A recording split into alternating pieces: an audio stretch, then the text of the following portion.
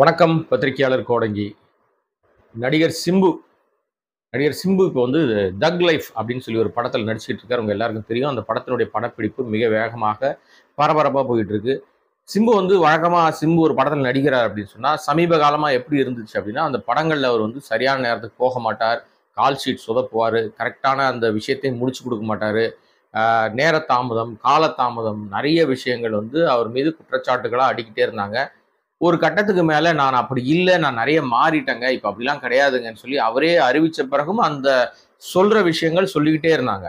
ஆனால் இனிமேல் நம்ம எதுவும் பேச வேணாம். நம்மளுடைய செயல்பாடுகளில் மட்டும் காட்டி போனோமே அப்படின்னு சொல்லி அவர் வந்து தன்னுடைய படங்களில் அதை செயல்படுத்த ஆரம்பிச்சிருக்காரு. அது வந்து தக் லைஃப் மூலமாக அடுத்த கட்ட நகர்வுக்கு அவர் போக ஆரம்பிச்சிருக்காருன்னு தான் நம்ம பார்க்குறோம். ஏன்னா தக் லைஃப் வந்து முதல் முதல்ல போய் மணிரத்னம் அவர்கள் அவர்கிட்ட கதை சொல்லும் போது அவருக்கு ஒரு சின்ன போர்ஷன் மட்டும்தான் இருந்துச்சு. அந்த போர்ஷனில் இது எனக்கு சரியாக வருமான்னு தெரியலன்ற மாதிரி அவர் அந்த ப- அந்த விஷயத்தில் கொஞ்சம் நடிக்கலாமா வேணாமான்னு மாதிரி ஒரு டைலமோல இருந்த இடத்துல தான். அதுக்கப்புறம் அதில் பார்த்தீங்கன்னா ஜெயமர் வெளியே போயிட்டார். அப்ப இன்னும் சில பேர்லாம் வெளியே போன பிறகு மீண்டும் மணிரத்னம் இவருக்காக அந்த கதையை வந்து இன்னும் கொஞ்சம் எலாபரேட்டாக போட்டு இவருடைய அந்த கேரியரே நிறைய அந்த போர்ஷனே நிறைய பெருசாக என்லார்ஜ் பண்ண உடனே கமலுக்கு ஈக்குவலாக அந்த படத்தில் இவர் இருக்கார் அப்படின்ற மாதிரி ஒரு தோற்றம் உருவான பிறகு நிறைய விஷயத்த தேதிகள் அவர் கேட்ட தேதிகளை கொடுத்தது மட்டும் இல்லாமல் குறித்த நேரத்துக்கு முன்னாடியே போய் நிறைய விஷயத்த அவர் வந்து திரும்பி ஏன்னா இவர் வந்து குழந்தை நட்சத்திரமா இருந்து வளர்ந்தவர் எல்லா துறைகளையும் ஜாம்பவான் தான் சிம்பு மாற்றமே கிடையாது. ஆனா இங்க மணிரத்னம்னு மிகப்பெரிய ஒரு ஜாம்பவான்ட்ட வேலை செய்யும்போது ஏற்கனவே ஒரு செக்க சிவந்த வானத்துல வேலை பார்த்துருக்காரு.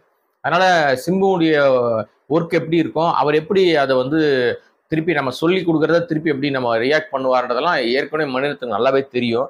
இருந்தாலும் ஒரு சின்ன பையன் இப்ப கத்துக்கிற மாதிரி புதிய ஒரு வரவு மாதிரி சிம்பு வந்து மணிரத்னம் சொல்ற எல்லாத்தையுமே மிக சிறப்பாக செஞ்சு கொடுக்குறாருன்னு தான் இப்ப அங்கிருந்து வரக்கூடிய தகவல்கள்லாம் நம்ம சொல்றாங்க. இதுல ரொம்ப சிறப்பான ஒரு விஷயமா என்ன பார்க்கப்படுது அப்படின்னு சொன்னா சமீபத்துல வந்து அவர் ரொம்ப காய்ச்சல் அவதிப்பட்டிருக்காரு. யூஸ்வலாக இந்த மாதிரி நடிகர்கள் எல்லாம் வந்து ஷூட்டிங் ஸ்பாட்ல அதை பரபரப்பா படம் ஷூட்டிங் போயிட்டு இருக்கும்போது அவர்களுக்கு உடல்நலக் குறைவோ வேற ஏதாவது அசௌகரியமோ வேற ஏதாவது விஷயங்கள் வந்ததுன்னா உடனே என்ன பண்ணுவாங்கன்னா ஷூட்டிங் கேன்சல் பண்ணிடுவாங்க. இல்லை அவர்கள் தரப்பு இல்லாத காட்சிகளை அவர்களை விட்டுட்டு படம் பண்ணுவாங்க. இப்போ அவுடோர் போயிட்டா வழியே கிடையாது. அவங்க ரூமில் ரெஸ்ட் எடுங்கன்னு சொல்லுவாங்க ரொம்ப மருத்துவ உதவியோ சிகிச்சையோ தேவைன்னா அதுக்கப்புறம் அவங்கள வந்து அனுப்பிடுவாங்க. சரி நீ வீட்டுக்கு போங்க அப்புறம் பார்த்துக்கலாம்? சரியான பிறகு எடுத்துக்கலாம்வாங்க இதனால் என்ன நடக்கும் அப்படின்னா ப்ரொடக்ஷன் காஸ்ட் வந்து எகுரும் ஏன்னா அவங்க போட்டு பிளான் போட்டு போவாங்க. நாலு நாள் இதை முடிச்சிடலாம் அஞ்சு நாள் இதை முடிச்சிடலான்ட்டு.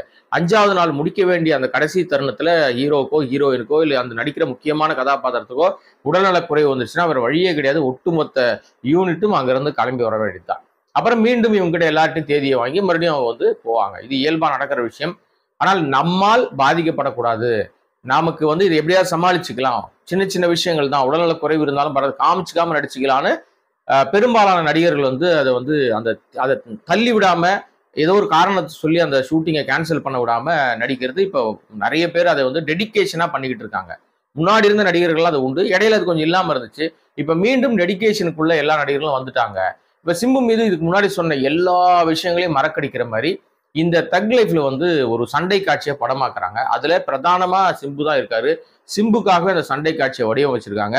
நம்ம அந்த சண்டை காட்சிக்கே பிரதானமாக நம்ம எல்லாம் பேரும் வாங்கி இப்போ தேசிய விருது வரைக்கும் வாங்கியிருக்கிற அன்பறிவு மாஸ்டர் தான் அந்த சண்டை காட்சியை வந்து டிசைன் பண்ணியிருக்காரு.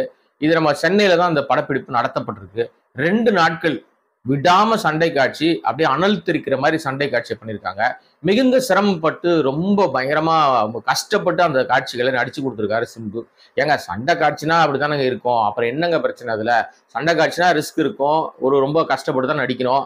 இயல்பா இருக்க முடியாது. நிறைய விஷயம் மெனக்கெட்டு தானே பண்ணணும். இதுல என்ன புதுசா இருக்கு? அப்படின்ற மாதிரி நீங்க நினைச்சீங்கன்னா நிஜமாவே இது வந்து சண்டை காட்சியில நடிச்சதுனாலயோ இல்ல அங்க சிரமப்பட்டு ரிஸ்க் எடுத்து நடிச்சதுனாலலாம் கிடையாதுங்க.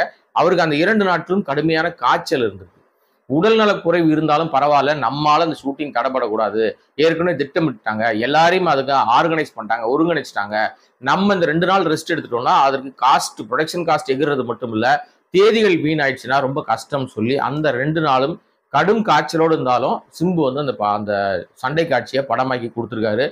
அந்த சண்டை காட்சியை உலகத்தரம் வாய்ந்த கேமராவில் வந்து அவங்க ஷூட் பண்ணி அதை அவுட்புட் பார்க்கும்போது அவ்வளோ பிரமாதமாக வந்திருக்கான். இவருக்கு வந்து உடல்நலக் குறைவு இருக்கிற மாதிரியே தெரியல. ரொம்ப பிரமாதமாக அதை வந்து மெனக்கட்டு நடிச்சிருக்காரு. இந்த டெடிகேஷன் வந்து சிம்பு கிட்ட இருந்துச்சுன்னா இன்னும் அடுத்த கடத்தை நோக்கி அவர் ஓடிக்கிட்டே இருப்பார். அவர் யாரும் கண்ட்ரோலே பண்ண முடியாத அளவுக்கு ஒரு நல்ல ஒரு இடத்துக்கு போவார் அப்படின்றது தான் இப்போ அங்கிருந்து வரக்கூடிய தகவல்கள். இது ஏதோ சிம்புவை புகழ்ந்து பேசுகிற மாதிரி நீங்கள் நினச்சிக்க வேண்டாம். யூஸ்வலா நம்ம ஒரு ஒரு பிரச்சனை இருக்கு.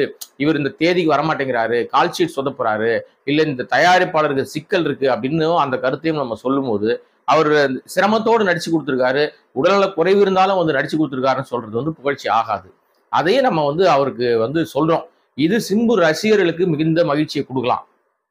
சிம்புவை ஏதாவது காரணம் வச்சு ஏதாவது ஒரு விஷயத்தில் அவரை வந்து காலி பண்ணணும்னு நினைக்கிறவங்களுக்கு இது வந்து இது என்னடா இது?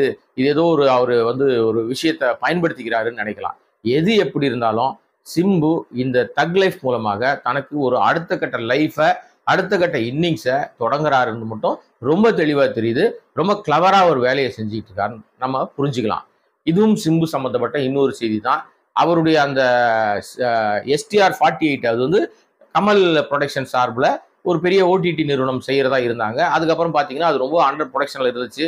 மிகப்பெரிய பட்ஜெட் கிட்டத்தட்ட ஒரு நூறு நூற்றம்பது கோடி ரூபா பட்ஜெட்டில் அது பண்ணலாம் அப்படின்னு சொல்லி பிளானில் எல்லா வேலையும் செஞ்சுக்கிட்டு இருந்தாங்க.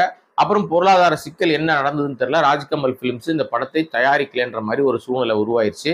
அது காரணம் அவங்க ஏற்கனவே இன்னொரு படம் பண்ணிக்கிட்டு இருக்கிறதுல எதிர்பார்த்ததை விட அதிகமான செலவுகள் ஆயிடுச்சு அவங்க ஒரு நூற்றி இருபது நாளில் முடிக்கலாம்னு பார்த்த அந்த சிவகார்த்திகனுடைய படம் நூற்றி அறுபது நாளை தாண்டி அங்கே ஷூட்டிங் போனது.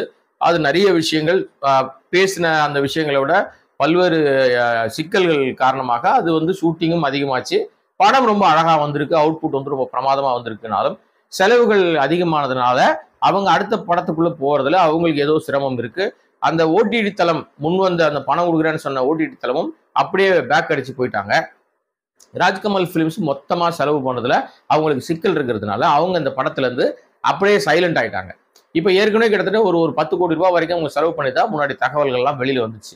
எது எப்படி இருந்தாலும் அந்த அந்த காசையே திருப்பி கேட்க வேண்டாம். பட் நீ இந்த படத்தை பண்ண வேண்டாம்ன்ற மாதிரி ராஜ்கமல் முடிவு பண்ண உடனே அந்த படத்தை நானே பண்ணிக்கிறேன். நானே பண்ணிக்கிறேன்னா சிம்புவே ப்ரொடக்ஷன் எடுக்கிறாருன்னு அர்த்தம் இல்லை. நான் வேற ஒரு கதைக்காலத்தோட இதே கதையை வேற ஒரு தயாரிப்பாளரோடு சேர்ந்து ஏதோ ஒரு விஷயத்துல நான் பண்ணிக்கிறேன். நீ ஒன்றும் பிரச்சனை இல்லைன்ற மாதிரி அவர் சொல்லிட்டாரு. இப்போ அதற்கு தயாரிப்பாளரும் தேடி பிடிச்சி வச்சுட்டாரு போல இருக்கு. அது இந்த படம் தக் லைஃப் முடிஞ்ச உடனே அந்த படத்தை வந்து தொடங்குவதற்கு வாய்ப்புகள் அதிகமாக இருக்கு. இன்னொரு விஷயம் அது ஏற்கனவே 150 கோடி ரூபாய் பட்ஜெட் போட்ட அந்த படத்தை பட்ஜெட்டை மிக அழகாக ரொம்ப செதுக்கி ரொம்ப ஷார்ப் பண்ணி அது கிட்டத்தட்ட பாதிக்கு பாதியாக பட்ஜெட்டை குறைச்சிருக்கிறதா ஒரு தகவல் இருக்கு. படம் அந்த அளவுக்கு ஒரு அவுட்புட்டை கொடுக்குற மாதிரியான படமாக மாத்துறதுக்கு எந்த லெவல் தேவையோ அது மட்டும் செலவு பண்ணால் போதும். அன்வான்ட் செலவுகளை தவிர்த்துக்கலாம்னு முடிவு பண்ணிட்டாங்க இருக்கு. இதுக்கு இடையிலேயே நம்ம வேல்ஸ் இன்டர்நேஷனல் ஃபிலிமோட அவங்க ஏற்கனவே ஒரு பிரச்சனை இருந்தது கோர்ட்டில் கேஸ் இருந்தது. அந்த கேஸ் ஏற்கனவே வித்ரா பண்ணிட்டாங்க.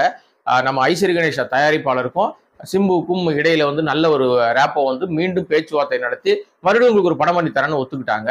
அந்த படம் இந்த எஸ்டிஆர் ஃபார்ட்டி எயிட்டுக்கு முன்பாக தொடங்கினாலும் ஆச்சரியம் இல்லை. இந்த தகலை முடிஞ்ச உடனே அதற்கான அதிகாரப்பூர்வ அறிவிப்பு வெளியிடும் வெளியிடப்படும் அப்படின்றது தான் நமக்கு கிடைக்கிற தகவல். நம்ம பார்ப்போம் என்ன எஸ்டிஆருடைய அடுத்த கட்ட நகர்வாக இருக்க போகுது ஏன்னா வந்து எல்லா திறமைகளையும் குழந்தையிலேருந்தே அவர் கற்றுக்கிட்டு வந்திருக்கார் இல்லையா? ஸோ சினிமாவில் வந்து அவரோடு இணைந்து பணியாற்றுறவங்கள எங்கேயோ ஒரு வேற ஒரு உயரத்துக்கு போயிட்டாங்க. இவர் மட்டும் அங்கேயே இருக்கிற மாதிரி ஒரு ஃபீல் இருக்கு. ஸோ இது இவர் இதுக்கப்புறமா அந்த லைஃப் எப்படி இது மாறுது அப்படின்றத பொறுத்திருந்து தான் பார்க்கலாம். மீண்டும் ஒரு நல்ல விஷயத்தோடு சந்திப்போம். நன்றி. வணக்கம்.